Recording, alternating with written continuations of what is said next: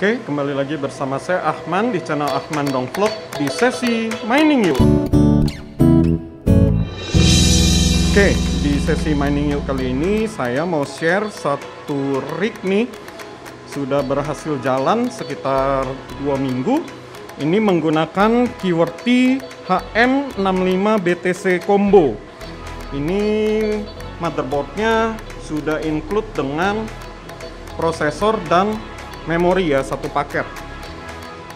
Nah ada di bagian dalam dan rig ini menggunakan dua buah power supply karena keterbatasan power supply ya dalam beberapa minggu terakhir. Jadi kita menggunakan power supply dengan tipe RM850 sebanyak dua buah karena kita mau menghidupkan 6 buah RTX 3070 ini berbagai tipe ya dan berbagai merek.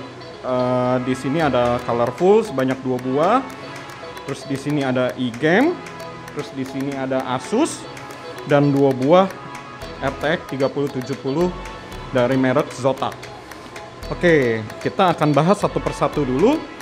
Dari motherboardnya saya menggunakan QWERTY keyword di HM65 BTC combo. Sebenarnya ini bisa 8 slot ya tapi kita hanya menggunakan 6 slot saja.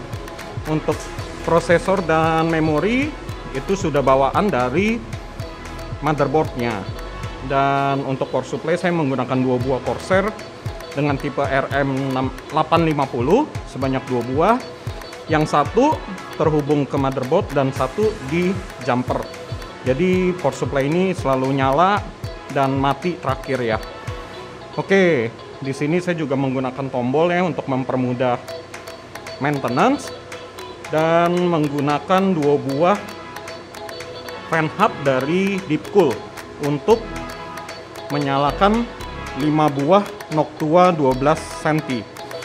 Untuk SSD di sini saya menggunakan EOTA 256 GB ya.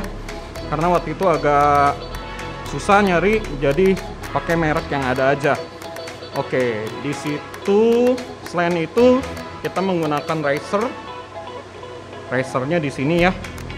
Razernya menggunakan Razer versi 009S yang sudah ada lampu warna merah dan birunya ya Oke, untuk perkabelan masih menggunakan kabel bawaan dari Corsairnya sendiri karena kan di sini paling cuman kurang kabel moleknya aja karena RM850 hanya mendapatkan satu buah molek ya.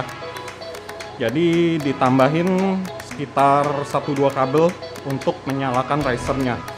Di sini risernya kita power menggunakan molek. Jadi moleknya itu satu kabel molek digunakan untuk menghidupkan dua riser. Oke, racknya seperti ini jadinya dan tidak ada konfigurasi khusus ya untuk menyalakan rack seperti ini. Oke, selanjutnya kita akan lihat power dan hash rate-nya di nice hash-nya ya. Oke, ini layar desktopnya. Kita langsung lihat di nice hash-nya ya, Quick Miner.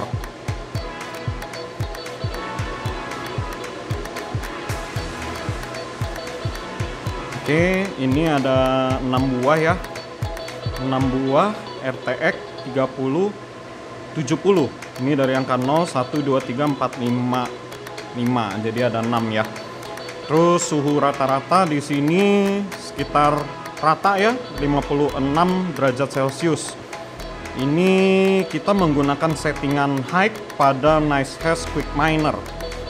Oke untuk speednya setiap VGA mendapatkan 61,89 ini rata banget nih kalau teman-teman perhatikan.